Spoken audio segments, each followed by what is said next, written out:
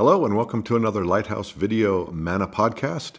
For those of you just joining, I'm Pastor Jeff Glenn, and it's my pleasure to take you through the Word each week and to find some encouragement and some instruction, and if needed, um, some um, correction. And so um, we've been going through Genesis, and last week we went through Genesis 7. We saw this was where God implemented judgment on the earth due to the continual wickedness that was on the earth and in the heart of man. And God's judgment came in the form of a flood. This was a worldwide catastrophic event that left all but eight people, and depending on the type of animal, um, seven pairs of the animals were all that were left. They were um, carried along in the ark. And today we'll see the end of this flood, where God begins to remove uh, the, the water from the world. And we see this in Genesis. Well, so we'll read Genesis 8 1. Then God remembered Noah and every living thing and all the animals that were with him in the ark. And God made a wind to pass over the earth, and the waters subsided.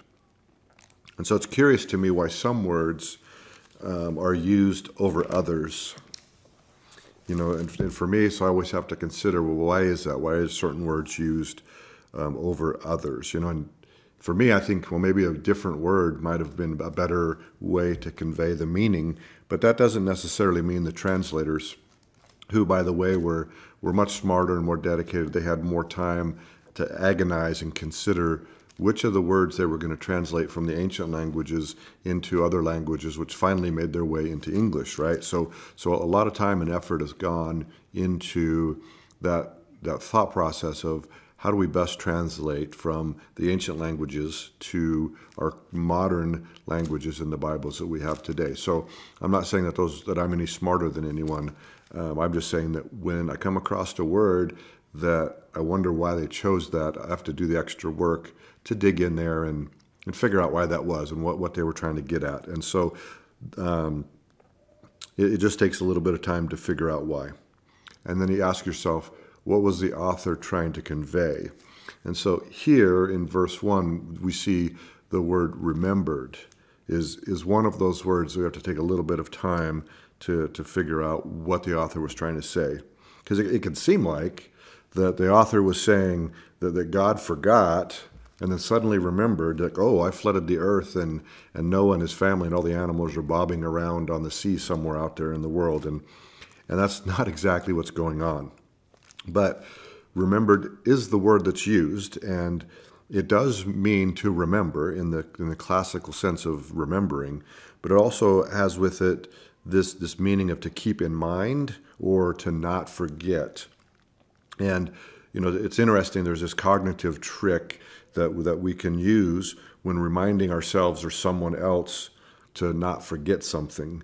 Um, if you say, don't forget, um, your mind keys in on that, that phrase of forget, and then whatever you say, don't forget, right? Um, but if you say, remember, then your mind keys in on the on the word remember and whatever you're telling someone to remember, right? Remember to to get the milk when you go to the store is much better than saying don't forget for some from for some cognitive reason in our brains that that um, we don't quite understand but but nonetheless um, has been shown at least in some studies to be to be true so I think that's part of what the word choice is here for right especially in the ancient language I think it's better to state God's actions and attributes in the positive rather than to say well God didn't forget Noah um, God remembered. It was was the phrase that was used. So at any rate, we, we don't serve an absent-minded God, right?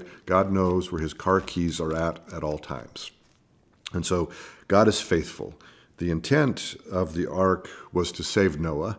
We know that. It was to save Noah, his family, and all the animals that God wanted to preserve. And so he, he brought them into the ark and closed them up and preserved them through this judgment. And so, um, you know, the promise of the one who would come that would crush the head of the serpent that was that was at stake in this in this flood. If he wouldn't have saved Noah and his family and, the, and all the rest this wouldn't have happened. And so in the ark we see God's provision. And you know this was the shelter that that not only carried them through the flood right through the 40 days and the 40 nights of the flood but it also uh, provided shelter for them afterwards uh, it was months and months after the rain stopped until Noah and his family actually were able to leave the ark. So once the, the rain stopped and the, the waters of the deep stopped giving up their water, it, it, was months before the water subsided and rested on the mountain, and then it was even longer uh, before the earth dried out enough for them to, to step out and that's where we see the the raven being sent out who never came back, and then the dove who went out um, twice and finally returned with an olive branch that indicated to Noah that there was um, land and and trees out there, and that God's promise to preserve them had been kept. And it was even a few more weeks before they stepped out of the ark. So they used this ark for their shelter and for their provision long past just carrying them through the flood. And so, um, you know, Noah didn't just fling the door open once the the, the rain had stopped. Um, if he had, you know, they would have all been lost. And so, in in this waiting for the right moment, they remained hopefully dependent on God. They knew that God had put them in the ark for preservation, and they waited for Him to signal to them when the right time was for them to come out in, into this new world that had been um, deluged with this water. And so, um, after departing the ark, Noah promptly sacrificed to God um, of every clean animal and every clean bird. And this was why he brought seven pairs of those along, was for the sacrifice. And, and this sacrifice pleased God as we see in Scripture. And then we see God vowing never to again curse the ground for man's sake. And we see all this here, and even in the same thing, we see um, God's correct assessment of mankind even after the flood.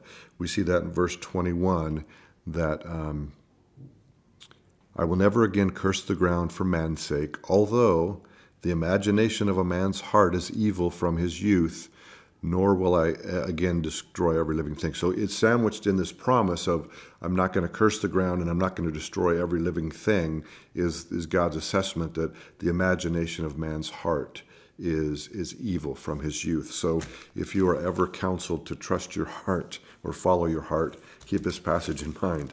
Um, all of this um, we see um, God's continued promise to provide for mankind in verse 22. While the earth remains, seed time and harvest, cold and heat, winter and summer, and day and night shall not cease. And so the assurance here from God that what should that was meant to comfort Noah and even us that um, God He's going to provide for our needs, and that includes you, and that includes me, and that should be incredibly encouraging, especially in these times when, when there's all sorts of uncertainty and craziness going on. No, we have God's word that, that while the earth remains, these things will remain as well, and they shall not cease because we serve a mighty, awesome God. And so I hope that's encouraging you. Stay encouraged and stay in the word.